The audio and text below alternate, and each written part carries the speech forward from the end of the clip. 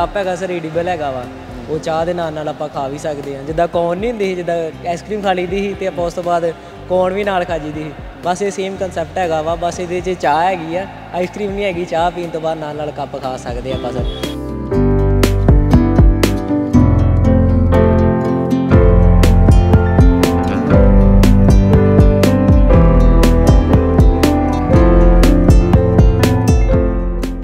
ਚਾਹ ਦਾ ਤੇ ਨਾਲ ਇੱਕ ਬਾਈਟ ਕੱਪ ਦੀ। ਪ੍ਰੋਪਰ ਦੱਸਿਆ ਤੇ ਫਿਰ ਵਧੀਆ ਸਵਾਦ ਆਉਣ ਲੱਗ ਪਿਆ।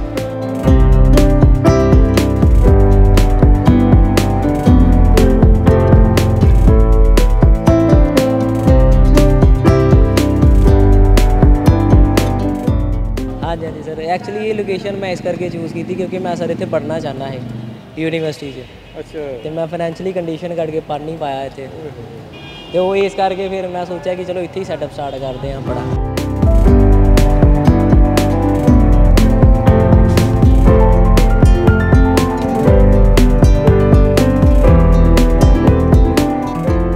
ਮਰਿਆ ਨਹੀਂ ਸੋਹਣੀ ਨਹੀਂ ਮੂਸਾ ਜੱਟ ਨਹੀਂ ਨਾ ਕਦੇ ਦਬਿਆ ਤੇ ਦੀਪ ਹੋਇਆ ਆ। ਮਰਦੇ ਤਾਂ ਉਹ ਜਿਹੜੇ ਗੋਡੇ ਟੇਕਦੇ, ਜੱਟ ਦਾ ਗਾਉਂਦਾ ਸ਼ਹੀਦ ਹੋਇਆ ਆ। ਦੇਖੀ ਪੀੜੀਆਂ ਦੇ ਪੀੜੀ ਉਹਦੇ ਬੋਲ ਗੁੰਜਨੇ, ਨਾ ਹੁਣੀ ਆਉਣ ਵਾਲੀ ਜੂਨ ਕੋਲੋਂ ਕਾਪੀ ਕੁੜੇ। ਮੰਨਿਆ ਕਿ ਕੁੜੇ ਜੱਟ ਨਹੀਂ ਰਿਆ ਨਹੀਂ ਪਰ ਉਹਦੀ ਅਮਰ ਰਹਿਣੀ ਆ ਵੱਜੀ ਥਾਪੀ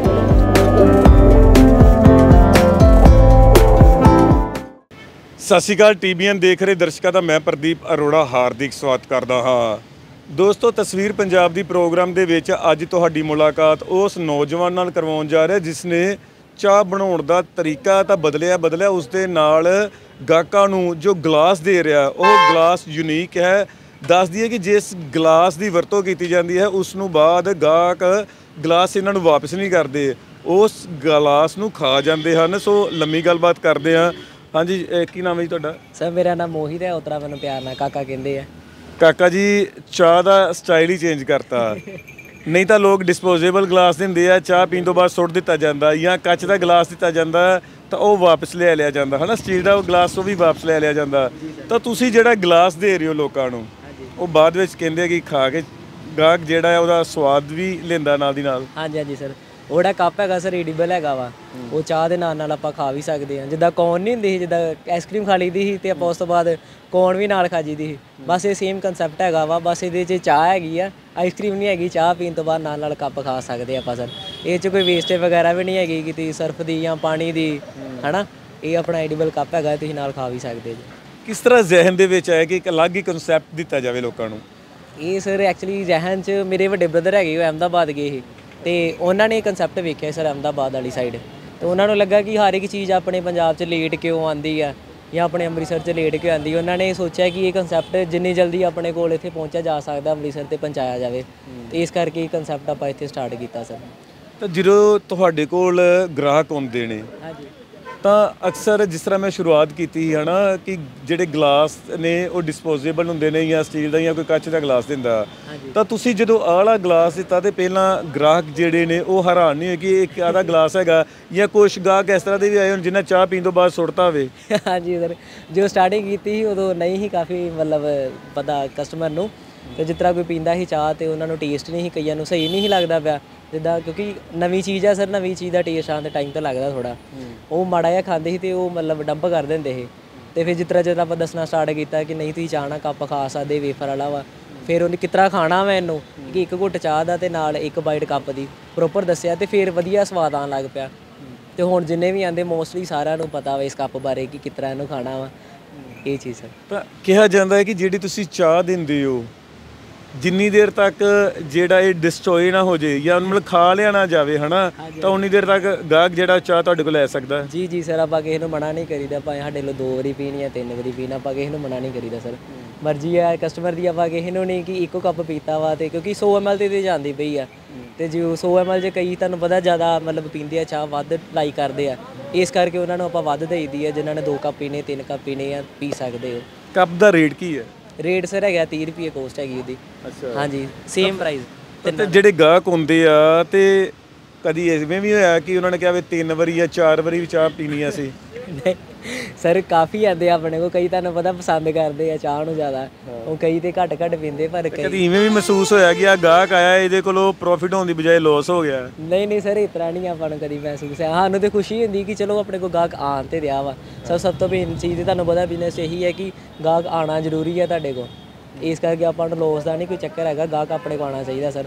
ਕਿਉਂਕਿ ਜਿੱਦਾਂ ਵੀ ਹੁਣ ਆਪਾਂ ਕਿਸੇ ਵੀ ਦੁਕਾਨ ਤੇ ਜਾਂਦੇ ਆ ਕੋਈ ਚੀਜ਼ ਲੈਨੇ ਆ ਇੱਕ ਚੀਜ਼ ਹੀ ਤਾਂ ਆਪਾਂ ਲਿੱਤੀ ਆ, ਉਹਦੇ ਨਾਲ ਸਾਨੂੰ ਕੋਈ ਛੋਟੀ ਜੀ ਚੀਜ਼ ਨਾਲ ਫ੍ਰੀ ਮਿਲਦੀ ਹੈ ਨਾ ਤੇ ਆਪਾਂ ਉਹ ਦੁਕਾਨ ਤੇ ਦੁਬਾਰਾ ਜ਼ਰੂਰ ਜਾਂਦੇ ਆ। ਕਿਉਂ? ਕਿਉਂਕਿ ਸਾਨੂੰ ਕੁਝ ਫ੍ਰੀ ਮਿਲਦਾ ਵਾ ਨਾਲ। ਇਸ ਕਰਕੇ ਸਰ ਆਪਾਂ ਇਹ ਚੀਜ਼ ਕਿਹਨੂੰ ਮਨਾ ਨਹੀਂ ਕਰੀਦਾ, ਦੋ ਵਾਰੀ ਪੀਣ, ਤਿੰਨ ਵਾਰੀ ਪੀਣ, ਇਸ ਕਰਕੇ।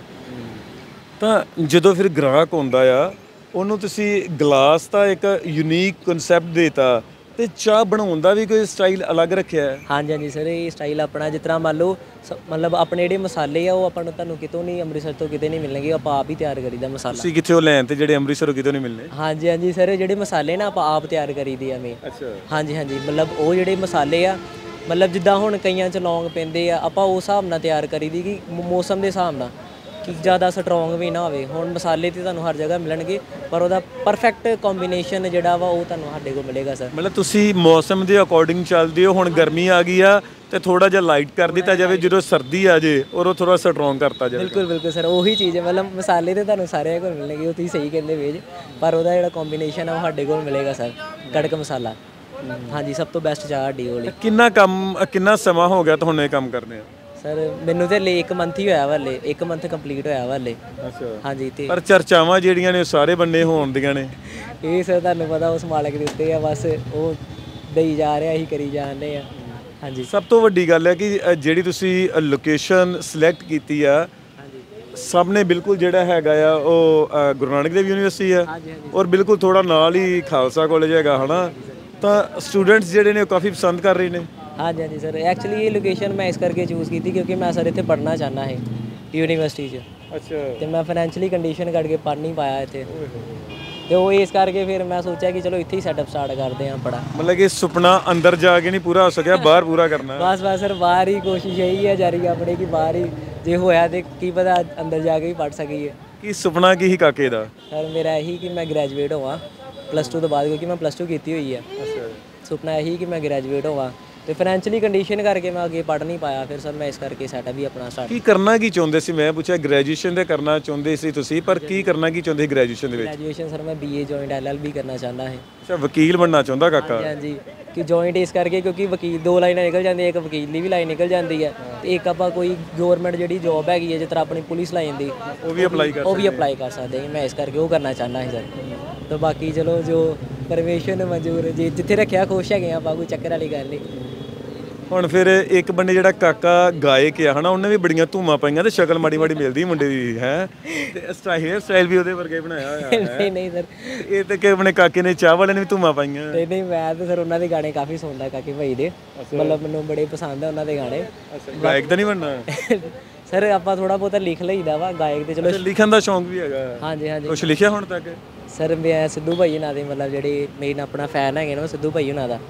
ਉਹਨਾਂ ਦੀਆਂ ਲਾਈਨਾਂ ਲਿਖੀਆਂ ਫੋਟੋ ਵੀ ਬਣਵਾਈ ਉਹਨਾਂ ਦੀ ਮੈਂ ਆਪਣੀ ਕਾਰਡ ਦੇ ਉੱਤੇ। ਵਾਹ ਵਾਹ ਵਾਹ। ਤੇ ਜੇ ਤੁਸੀਂ ਕਹੋ ਤਾਂ ਮੈਂ ਲਾਈਨਾਂ ਪੇਸ਼ ਕਰਾਂ। ਬਿਲਕੁਲ ਬਿਲਕੁਲ ਬਿਲਕੁਲ ਜੀ ਇਹ ਉਹਨਾਂ ਦੀ ਯਾਦ ਲਿਖੇ ਗਏ ਕਿ ਮਰਿਆ ਨਹੀਂ ਸੋਹਣੀਏ ਨਹੀਂ ਮੂਸਾ ਜੱਟ ਨਹੀਂ ਨਾ ਕਦੇ ਦਬਿਆ ਤੇ ਦੀਪ ਹੋਇਆ ਆ।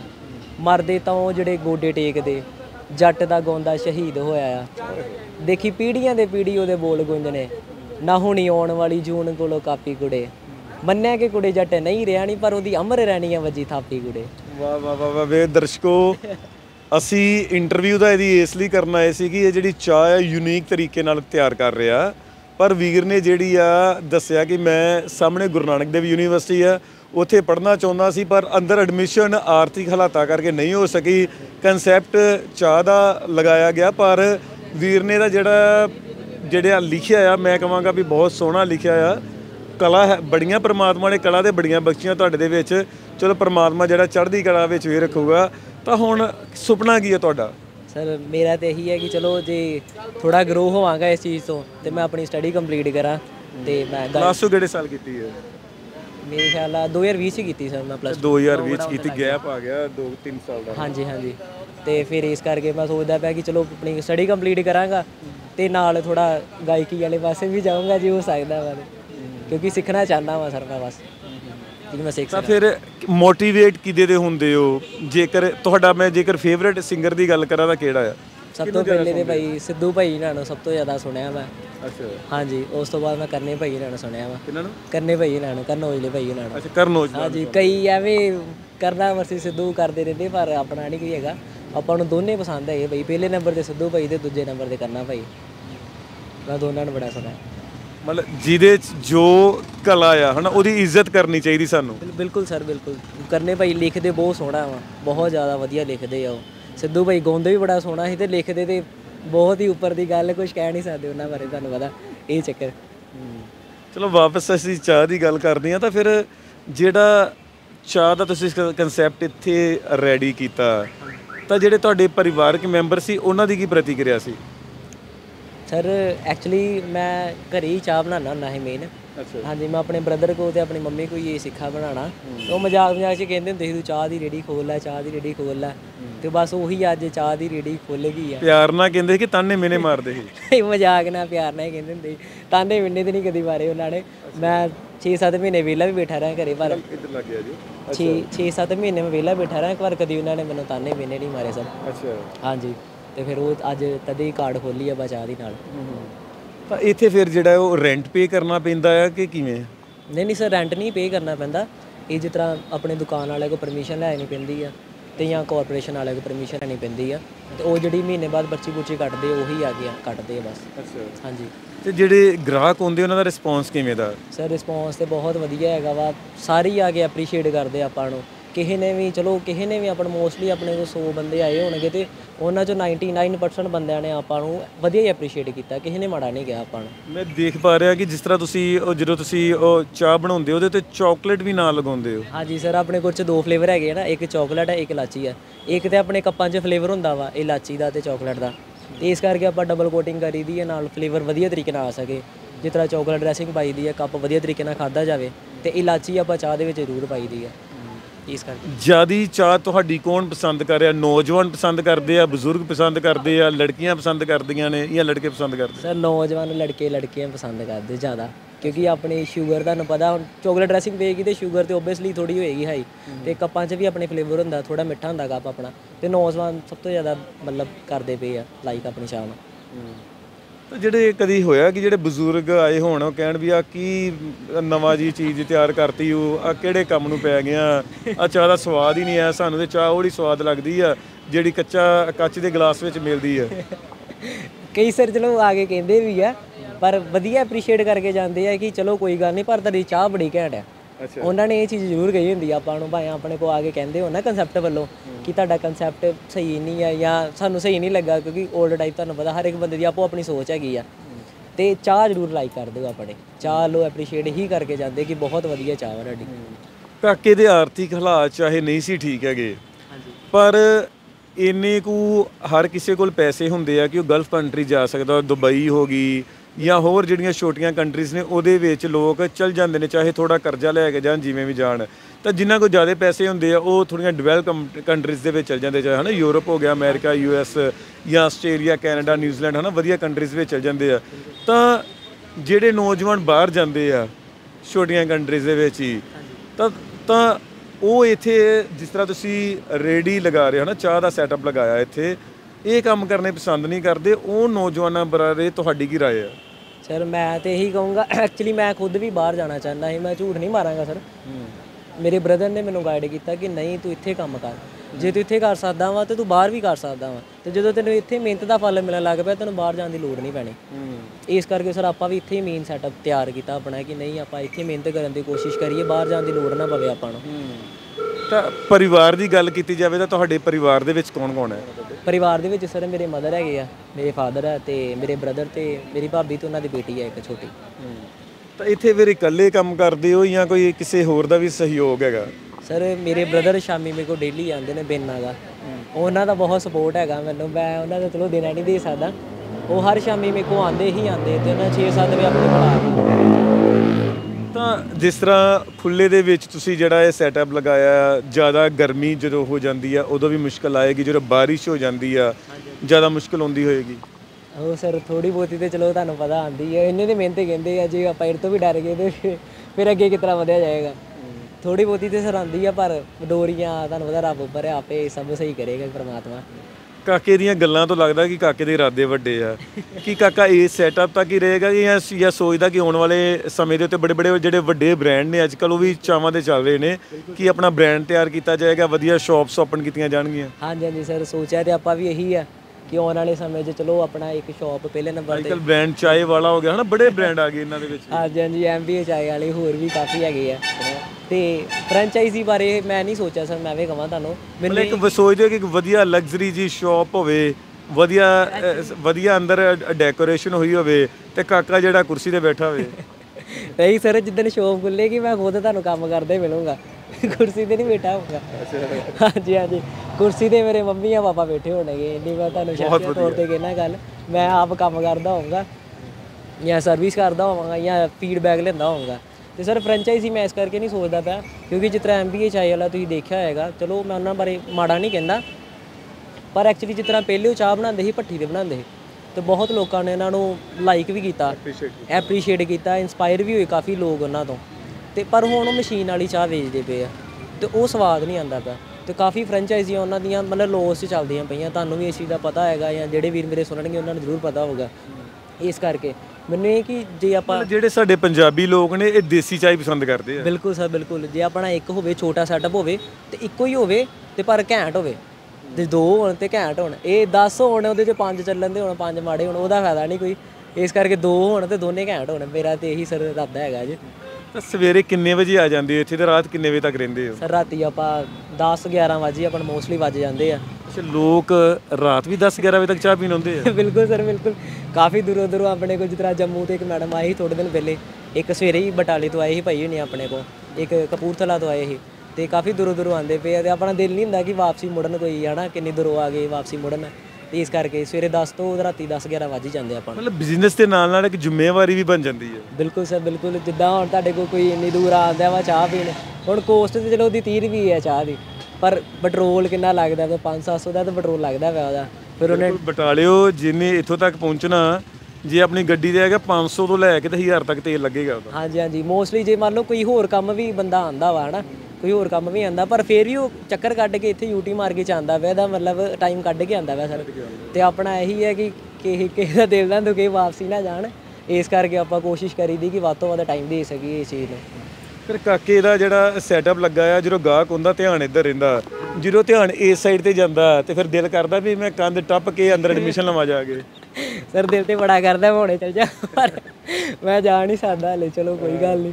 ਬਾਕੀ ਖੈਰ ਜਿੰਨੇ ਵੀ ਆਪਣੇ ਕੋਲ ਬੰਦੇ ਆਂਦੇ ਆ ਬੜਾ ਦਰਸ਼ਕਾਂ ਨੂੰ ਦੱਸ ਦਈਏ ਕਿ ਜਿੱਥੇ ਪੀਯੂ ਦਾ ਬੜਾ ਨਾਮ ਹੈ ਉੱਥੇ ਜੀਐਨਡੀਯੂ ਦਾ ਵੀ ਬੜਾ ਨਾਮ ਹੈ। ਬਹੁਤ ਸਰ ਬਹੁਤ ਗੁਰੂ ਨਾਨਕ ਦੇਵ ਯੂਨੀਵਰਸਿਟੀ ਤੇ ਸਰ ਬਹੁਤ ਉੱਪਰ ਹੈ ਮਤਲਬ ਹਾਂਜੀ। ਚਲੋ ਖਾਲਸਾ ਵੀ ਬੜਾ ਘੈਂਟ ਹੈ ਕਾਲਜ ਪਰ ਯੂਨੀਵਰਸਿਟੀ ਤੇ ਇੱਕ ਖਤਮ ਵੀ ਚੀਜ਼ ਹੈ ਨਾ ਕਿ ਜਿਹੜਾ ਬੰਦਾ ਉੱਥੇ ਪੜ ਗਿਆ ਭਾਈ ਇੱਕ ਵੈਲਿਊ ਬਣ ਜਾਂਦੀ ਉਹਦੀ ਮਤਲਬ ਵਧੀਆ ਤਰੀਕੇ ਨਾਲ ਪੜ ਜਾਵੇ ਸਹੀ ਹੈ ਬਸ। ਅਕਸਰ ਅਸੀਂ ਜਿਹੜੇ ਗਾਣੇ ਵੀ ਸੁਣਦੇ ਹੈਗੇ ਸਾਡੇ ਜਿਹੜੇ ਪੰਜਾਬੀ ਗਾਇਕ ਨੇ ਯੂਨੀਵਰਸਿਟੀਆਂ ਵਿੱਚ ਬੜਾ ਲੈਂਦੇ ਆ ਹਨਾ? ਹਾਂਜੀ ਹਾਂਜੀ ਸਰ ਇਹ ਤੇ ਹੈਗਾ ਯੂਨੀਵਰਸਿਟੀ ਨੂੰ ਨਾਲ ਲੈਂਦੇ ਲੈਂਦੇ ਬਹੁਤ ਹੀ ਗਾਇਕ ਆਪਣੇ ਜਿਹੜੇ ਹੈਗੇ ਆ। ਤੇ ਜੇਕਰ ਕਾਕੇ ਕੋ ਕਿਸੇ ਨੇ ਚਾਹ ਪੀਣ ਆਉਣੀ ਹੈ ਤੇ ਆਪਣਾ ਐਡਰੈਸ ਜਿਹੜਾ ਹੈ ਉਹ ਸਾਡੇ ਦਰਸ਼ਕਾਂ ਨਾਲ ਸਾਂਝਾ ਕਰ ਦਿਓ। ਆ ਸਰ ਐਡਰੈਸ ਹੈਗਾ ਜੀ ਯੂਟੀ ਮਾਰਕੀਟ ਠਾਠ ਵਾੜ ਦੇ ਬਿਲਕੁਲ ਸਾਹਮਣੇ ਕਾਕਾ ਚਾਹ ਵਾਲਾ ਸਟੋਰ ਲੱਗਾ ਹੈ ਅਫਸਰ ਆਪਣਾ। ਗੁਰੂ ਨਾਨਕ ਦੇਵ ਯੂਨੀਵਰਸਿਟੀ ਸਾਹਮਣੇ। ਹਾਂਜੀ ਗੁਰੂ ਨਾਨਕ ਦੇਵ ਯੂਨੀਵਰਸਿਟੀ ਦੇ ਸਾਹਮਣੇ। ਤਾਂ ਹੁਣ ਜਿਸ ਤਰ੍ਹਾਂ ਤੁਸੀਂ ਦੱਸ ਰਹੇ ਸੀ ਕਿ ਤੁਸੀਂ ਗ੍ਰੈਜੂਏਸ਼ਨ ਕਰਨਾ ਚਾਹੁੰਦੇ ਹੋ ਲਾਅ ਕਰਨਾ ਚਾਹੁੰਦੇ ਹੋ ਤਾਂ ਫਿਰ ਲਾਅ ਕਰ ਲੈਂਦੇ ਹੋ ਵਕੀਲ ਬਣੋਗੇ ਕਿ ਜਾਂ ਫਿਰ ਇਹ ਕੰਮ ਕਰੋਗੇ? ਕਿਉਂਕਿ ਡਬਲ ਲਾਈਨ ਤੁਸੀਂ ਚੂਜ਼ ਕਰ ਰਹੇ ਹੋ ਨਾ ਹਨਾ? ਸਰ ਉਹ ਨਹੀਂ ਕੋਈ ਕਨਫਿਊਜ਼ਨ ਹੈ ਲੱਗਦਾ। ਨਹੀਂ ਨਹੀਂ ਸਰ ਉਹ ਨਹੀਂ ਕੋਈ ਗੱਲ ਹੈਗੀ। ਐਕਚੁਅਲੀ ਮੇਨ ਤਾਂ ਮੇਰਾ ਇਹੀ ਹੈ ਕਿ ਮੈਂ ਕਿਉਂਕਿ ਤੁਹਾਨੂੰ ਪਤਾ ਸਰਕਾਰੀ ਨੌਕਰੀ ਸਰ ਅੱਜ ਕੱਲ੍ਹ ਬਹੁਤ ਹੀ ਕਿਸਮਤ ਨਾਲ ਮਿਲਦੀ ਹੈ ਤੇ ਮੈਂ ਉਹ ਲੋ ਵੀ ਇਸ ਕਰਕੇ ਹੀ ਕਰਨਾ ਚਾਹੁੰਦਾ ਹਾਂ ਕਿ ਸਰਕਾਰੀ ਨੌਕਰੀ ਮੇਰੀ ਬਣ ਸਕੇ। ਮੇਨ ਤਾਂ ਵਕੀਲ ਬਣ ਕੇ ਜਿਹੜਾ ਗਰੀਬਾਂ ਨੂੰ ਇਨਸਾਫ ਦਿਵਾਓਗੇ ਕਿ ਜਾਂ ਜਿਹੜੇ ਕਰਪਟ ਲੋਕ ਹੁੰਦੇ ਨੇ ਜਿਹੜੇ ਕ੍ਰਿਮੀਨਲ ਲੋਕ ਹੁੰਦੇ ਨੇ ਜ਼ਿਆਦਾ ਉਹਨਾਂ ਦਾ ਸਾਥ ਦਿਓਗੇ? ਸਰ ਮੈਂ ਤੇ ਮਤਲਬ ਗਰੀਬਾਂ ਦਾ ਸਾਥ ਦੇਣਾ ਚਾਹੂੰਗਾ ਜਿਨ੍ਹਾਂ ਦੇ ਮਤਲਬ ਕੇਸ ਜਿਨ੍ਹਾਂ ਦੇ ਅੱਜ ਤੱਕ ਅੜੇ ਆ ਜਾਂ ਜਿੰਨੇ ਵੀ ਮੇਰੇ ਕੋ ਆਣਗੇ ਚਲੋ ਖੁਦਾ ਦੀ ਕਿਰਪਾ ਨਾਲ ਜਿੰਨੇ ਵੀ ਆਣਗੇ ਉਹਨਾਂ ਨੂੰ ਸਹੀ ਇਨਸਾਫ ਮਿਲ ਸਕੇ ਮੇਨ ਤੇ ਇਹੀ ਹੈਗਾ ਸਰ ਆਪਣਾ। ਜਿਹਦੇ ਕੋਲ ਪੈਸੇ ਘੱਟ ਹੋਣਗੇ ਉਹਦੇ ਕੋਲੋਂ ਘੱਟ ਪੈਸਿਆਂ ਵਿੱਚ ਵੀ ਸਾਰੋਗੇ? ਘੱਟ 'ਚ ਵੀ ਸਰ ਘੱਟ 'ਚ ਵੀ ਕੋਈ ਚੱਕਰ ਨਹੀਂ ਆ। ਆਪਣੀ ਤੇ ਸਟਾਰਟਿੰਗ ਹੋਣੀ ਆ ਮੈਂ ਤੇ ਕਹਿੰਦਾ ਫ੍ਰੀ ਵੀ ਚੱਲੂਗਾ ਕੋਈ ਚੱਕਰ ਨਹੀਂ ਹੈਗਾ। ਸੋ ਇੱਥੇ ਕੁਝ ਵੀਰ ਚਾਹ ਪੀਣ ਵੀ ਆਏ ਨੇ ਉਹਨਾਂ ਨਾਲ ਗੱਲਬਾਤ ਕਰਦੇ ਹਾਂ। ਹਾਂਜੀ ਵੀਰ ਜੀ ਕੀ ਨਾਮ ਹੈ ਤੁਹਾਡਾ? ਮੇਰਾ ਨਾਮ ਗੁਰਦੇਵ ਸਿੰਘ ਹੈ। ਗੁਰਦੇਵ ਸਿੰਘ ਜੀ ਕਿੱਥੇ ਆਏ ਹੋ ਚਾਹ ਪੀਣ ਇੱਥੇ? ਮੈਂ ਕੋਟ ਖਾਲਸਾ ਤੋਂ। ਕੋਟ ਖਾਲਸਾ ਤੋਂ ਆਏ ਹੋ। ਸਪੈਸ਼ਲ ਇਹਨਾਂ ਦੀ ਚਾਹ ਪੀਣੀ ਆਏ ਹੋ? ਹਾਂਜੀ ਸਪੈਸ਼ਲ ਇਹਨਾਂ ਦੀ ਚਾਹ ਪੀਣੀ ਆ। ਸਿਫਤਾਂ ਬੜੀਆਂ ਸੁਣੀਆਂ ਮੈਂ ਵੀ ਕਾਕੇ ਦੀਆਂ ਚਾਹ ਦੀਆਂ ਮੈਂ ਤਾਂ ਹੀ ਇੱਥੇ ਪਹੁੰਚਿਆ ਨਹੀਂ ਬਹੁਤ ਵਧੀਆ ਚਾਹ ਇਹਨਾਂ ਦੀ ਬਹੁਤ ਟੇਸਟੀ ਆ ਘੈਂਟ ਆ ਇਹਨਾਂ ਦਾ ਸਵਾਦ। ਨਾਲੇ ਇੱਕ ਨਵੀਂ ਚੀਜ਼ ਆ ਆਪਣੇ ਅੰਮ੍ਰਿਤਸਰ ਦੇ ਵਿੱਚ ਚਾਹ ਪੀਓ ਕੱਪ ਖਾ ਜਾਓ ਕੱਪ ਖਾ ਜਾਓ ਖਾ ਜਾਓ ਹਾਂ। ਪਹਿਲਾਂ ਤਾਂ ਜਿਹੜਾ ਸੁਣਦਾ ਨਾ ਕੱਪ ਖਾ ਜਾਓ ਸਮੇਂ ਤਾਂ ਸ਼ਾਇਦ ਮਜ਼ਾਕ ਕਰਨ ਦੇ ਨਹੀਂ ਨਹੀਂ ਨਹੀਂ ਸੀਰੀਅਸ ਆ ਸਹੀ ਗੱਲ ਆ ਕੱਪ ਖਾ ਜਾਓ ਇਹਨਾਂ ਦਾ ਕੱਪ ਬਿਸਕੁਟ ਟਾਈਪ ਆ ਚਾਹ ਪੀਓ ਉਹੀ ਕੱਪ ਖਾ ਜਾਓ ਹਾਂਜੀ। ਜਦੋਂ ਤੁਸੀਂ ਪਹਿਲੀ ਵਾਰ ਇਹਨਾਂ ਕੋਲੋਂ ਚਾਹ ਪੀਣ ਆਏ ਇਹਨਾਂ ਤੁਹਾਨੂੰ ਦੱਸਿਆ ਕਿ ਇਹ ਕੱਪ ਤੁਸੀਂ ਖਾ ਸਕਦੇ ਹੋ। ਮਨ ਦੇ ਵਿੱਚ ਕੀ ਆਇਆ ਉਦੋਂ? ਜ਼ਿਹਨ 'ਚ ਕੀ ਆਇਆ? ਨਹੀਂ ਬਹੁਤ ਵਧੀਆ ਫੀਲਿੰਗ ਆਈ ਕਿ ਚਾਹ ਪੀ ਕੇ ਜਿਵੇਂ ਕੱਪ ਆਪਾਂ ਡਿਸਪੋਜ਼ਲ ਸੁੱਟ ਦਿੰਨੇ ਆ ਜਿਵੇਂ ਚਾਹ ਪੀ ਕੇ ਆਪਾਂ ਕੱਪ ਖਾਣੇ ਆ ਵਧੀਆ ਫੀਲਿੰਗ ਫੀਲ ਹੋਇਆ ਮਨ ਦੇ ਵਿੱਚ ਕਿ ਹਾਂ ਕੋਈ ਵਧੀਆ ਚੀਜ਼ ਅੰਮ੍ਰਿਤਸਰ ਦੇ ਵਿੱਚ ਜਦੋਂ ਫਿਰ ਆਪਣੇ ਜਿਹੜੇ ਸੱਜਣ ਮਿੱਤਰ ਹੁੰਦੇ ਨੇ ਜਾਂ ਦੂਰੋਂ ਰਿਸ਼ਤੇਦਾਰ ਹੁੰਦੇ ਨੇ ਉਹਨਾਂ ਨੂੰ ਲਿਆਉਂਦੇ ਹੋ ਇੱਥੇ ਸਪੈਸ਼ਲੀ ਹਾਂ ਮੇਰੇ ਸੱਜਣ ਮਿੱਤਰ ਸਾਰੇ ਹੀ ਆਉਂਦੇ ਹੀ ਆ ਖਾਸ ਲਈ। ਵੈਸੇ ਤੇ ਰੋਜ਼ ਹੀ ਆ ਹੀ ਜਾਂਦੇ ਆ। ਮੇਰੇ ਤੇ ਘੱਟ ਤੋਂ ਘੱਟ ਇਹਨਾਂ ਨੂੰ ਪਤਾ ਹੀ ਆ 10 15 ਕੱਪ ਡੇਲੀ ਦੇ ਹੈ ਹੀ ਹੈ। ਅੱਛਾ। ਕਿਉਂ ਲਾਗੇ ਕਾਰੋਬਾਰ ਆਪਣਾ ਤੇ ਇਸ ਲਈ ਚਾਹ ਇਹਨਾਂ ਕੋਲ ਹੀ ਸਾਰੀ ਜਾਂਦੀ ਆ। ਮੋਸਟਲੀ ਤਾਂ ਜਿਹੜੇ ਫਿਰ ਤੁਹਾਡੇ ਸੱਜਣ ਮਿੱਤਰ ਹੁੰਦੇ ਨੇ ਰਿਸ਼ਤੇਦਾਰ ਹੁੰਦੇ ਨੇ ਜਦੋਂ ਤੁਸੀਂ ਉਹਨਾਂ ਨੂੰ ਕਹਿੰਦੇ ਹੋ ਕਿ ਇਹਨੂੰ ਚਾਹ ਪੀਣ ਤੋਂ ਬਾਅਦ ਇਹਨੂੰ ਖਾ ਲਓ ਤਾਂ ਕੁਝ ਹੈਰਾਨ ਵੀ ਹੁੰਦੇ ਹੋਣਗੇ ਕੁਝ ਕਹਿੰਦੇ ਹੋਣਗੇ ਮਜ਼ਾਕ ਕਰਦੇ। ਅਜੀਬ ਜਿਹਾ ਵੀ ਲੱਗਦਾ ਫਿਰ ਪੀ ਕੇ ਉਹਨਾਂ ਨੂੰ ਟੇਸਟੀ ਵੀ ਲੱਗਦਾ ਕਿ ਹਾਂ ਯਾਰ ਸਹੀ ਗੱਲ ਆ। ਉਹ ਜਦੋਂ ਉਹਨਾਂ ਨੂੰ ਕਹੀਏ ਕੱਪ ਖਾ ਜਾਓ ਸੋਚਦੇ ਕਿ ਮਜ਼ਾਕ ਕਰਦੇ। ਮੈਂ ਕਈ ਕਹਿੰਦੇ ਹੋਣੇ ਵੀ ਅੱਜ 1 ਅਪ੍ਰੈਲ ਨਹੀਂ ਹੈਗੀ ਤੇ ਫੂਲ ਨਾ ਬਣਾਓ। ਹਾਂਜੀ ਕਈ ਸੋਚਦੇ ਆ ਮਜ਼ਾਕ ਕਰਦੇ ਪਰ ਨਹੀਂ ਉਹਨਾਂ ਨੂੰ ਵਧੀਆ ਲੱਗਦਾ ਫੀਲ ਵਧੀਆ ਹੁੰਦਾ ਕਿ ਹਾਂ ਕੋਈ ਨਵੀਂ ਚੀਜ਼ ਆ ਕੱਪ ਖਾ ਜਾਓ। ਵਧੀਆ ਲੱਗਦਾ ਉਹਨਾਂ ਨੂੰ। ਕਾਕਾ ਦੱਸ ਰਿਹਾ ਸੀ ਕਿ ਚਾਹ ਜਿਹੜੀ ਆ ਮੈਂ ਅਲੱਗ ਤਰੀਕੇ ਨਾਲ ਤਿਆਰ ਕਰਦਾ। ਗਰਮੀਆਂ ਹੁੰਦੀਆਂ ਨੇ ਤੇ ਗਰਮੀਆਂ ਦੇ ਹਿਸਾਬ ਦੇ ਨਾਲ ਜਿਹੜਾ ਆ ਉਹਦੇ ਵਿੱਚ ਜਿਹੜਾ ਮਿਸ਼ਰਣ ਪਾਇਆ ਜਾਂਦਾ ਜਦੋਂ ਸਰਦੀਆਂ ਹੁੰਦੀਆਂ ਉਸ ਅਕੋਰਡਿੰਗ ਜਿਹੜਾ ਆ ਮਿਸ਼ਰਣ ਤਿਆਰ ਕੀਤਾ ਜਾਂਦਾ। ਨਹੀਂ ਚਾਹ ਤੇ ਇਹਨਾਂ ਦੀ ਬਹੁਤ ਟੇਸਟੀ ਆ ਵਧੀਆ ਵਾ। ਨਾਲੇ ਇੱਕ ਹੋਰ ਚੀਜ਼ ਵਧੀਆ ਵਾ ਇਹਨਾਂ ਦੀ ਕਿ ਚਾਹ ਅਨਲਿਮਟਿਡ ਪੀ ਜਾਓ ਕੱਪ ਦੇ ਵਿੱਚ। ਇਹ ਚੀਜ਼ ਵੀ ਵਧੀਆ ਇਹਨਾਂ ਦੀ ਕਿ ਜਿੰਨਾ ਮਨ ਕਰਦਾ ਚਾਹ ਪੀ ਸਕਦੇ ਆਪਾਂ। ਇਹਦੇ ਵਿੱਚ। ਵੀ ਇੱਕ ਵਾਰੀ ਪੀਓ ਦੋ ਵਾਰੀ ਪੀਓ ਤਿੰਨ ਵਾਰੀ ਪੀਓ। ਹਾਂ ਕੋਈ ਨਾ ਨਹੀਂ ਇਹਨਾਂ ਦੀ ਇਹ ਇਹ ਇੱਕ ਮੈਂ ਮੈਨੂੰ ਲੱਗਦਾ ਕਿ ਮੈਂ ਪਹਿਲੀ ਵਾਰੀ ਵੇਖਿਆ ਵੀ ਕਿਸੇ ਨੇ ਚਾਹ ਦਾ ਸੈਟਅਪ ਲਗਾਇਆ ਹੋਵੇ ਤੇ ਉਹ ਕਹੇ ਵੀ 30 ਰੁਪਏ ਦਿਓ ਤੇ ਚਾਹ ਜਿੰਨੀ ਮਰਜ਼ੀ ਪੀਓ। ਜਿੰਨੀ ਮਰਜ਼ੀ ਪੀ ਜਾਓ। ਕੱਲਾ ਬੰਦਾ ਜਿੰਨੀ ਮਰਜ਼ੀ ਪੀ ਸਕਦਾ ਇੱਕ ਕੱਪ ਦੇ ਵਿੱਚ ਹਾਂਜੀ। ਮੈਂ ਇਹ ਚੀਜ਼ ਕਿਤੇ ਹੋਰ ਨਹੀਂ ਦੇਖੀ। ਨਾ ਜੀ ਨਾ। ਬਿਲਕੁਲ ਸਹੀ ਗੱਲ ਆ। ਪਹਿਲੀ ਵਾਰੀ ਆਇਆ ਅੰਮ੍ਰਿਤਸਰ ਦੇ ਵਿੱਚ ਵਧੀਆ ਇਹਨਾਂ ਦੀ। ਇੱਕ ਨਵਾਂ ਕੰਮ ਆ ਗਿਆ ਕਿ ਚਾਹ ਪੀ ਲਓ ਬਿਸਕੁਟ ਬਿਸਕੁਟ ਕੱਪ ਖਾ ਜਾਓ ਆਪ। ਠੀਕ ਹੈ ਜੀ ਧੰਨਵਾਦ ਸਰ। ਥੈਂਕ ਯੂ ਭਾਈ ਸੋ ਇਹ ਸੀ ਸਾਡੇ ਨਾਲ ਕਾਕਾ ਚਾਹ ਵਾਲਾ। ਇੱਕ ਅਲੱਗ ਜਿਹਾ ਕਨਸੈਪਟ ਲਿਆਂਦਾ ਗਿਆ ਆ। ਚਾਹ ਪੀਓ, ਨਾਲ ਜਿਹੜਾ ਕੱਪ ਆ, ਉਹ ਤੁਸੀਂ ਖਾ ਸਕਦੇ ਹੋ। ਸੋ ਕਾਕੇ ਨਾਲ ਗੱਲ ਕਰਨ ਤੋਂ ਬਾਅਦ ਇਹਨਾਂ ਨੇ ਇਹ ਵੀ ਦੱਸਿਆ ਕਿ ਆਰਥਿਕ ਹਾਲਾਤਾਂ ਕਰਕੇ ਪਲੱਸ 2 ਹੀ ਕਰ ਸਕੇ ਨੇ। ਸਾਹਮਣੇ ਗੁਰੂ ਨਾਨਕ ਦੇਵ ਯੂਨੀਵਰਸਿਟੀ ਆ, ਉੱਥੇ ਪੜ੍ਹਨਾ ਵੀ ਚਾਹੁੰਦੇ ਸਨ, ਪਰ ਘਰਾਰ ਦੇ ਹਾਲਾਤ ਠੀਕ ਨਾ ਹੋਣ ਕਰਕੇ ਚਾਹ ਦਾ ਸੈਟ ਲਗਾ ਸੈਟਅਪ ਲਗਾਉਣਾ ਪਿਆ। ਸੋ ਜੇਕਰ ਤੁਸੀਂ ਇਹਨਾਂ ਦੀ ਚਾਹ ਪੀਣਾ ਚਾਹੁੰਦੇ ਹੋ, ਤਾਂ ਗੁਰੂ ਨਾਨਕ ਦੇਵ ਯੂਨੀਵਰਸਿਟੀ ਅੰਮ੍ਰਿਤਸਰ ਦੇ ਵਿੱਚ ਹੈ। ਬਿਲਕੁਲ ਉਸ ਦੇ ਆਪੋਜ਼ਿਟ ਸਾਈਡ ਤੇ ਮਾਰਕੀਟ ਹੈ। ਉਸ ਦੇ ਵਿੱਚ ਇਹਨਾਂ ਵੱਲੋਂ ਆਪਣਾ ਸੈਟਅਪ ਲਗਾਇਆ ਗਿਆ। ਸੋ ਤੁਸੀਂ ਟੀਵੀਆਂ ਦੇ ਨਾਲ ਜੁੜੇ ਹੋਏ ਸੀ ਅੰਮ੍ਰਿਤਸਰ ਤੋਂ ਪ੍ਰਦੀਪ ਅਰੋੜਾ।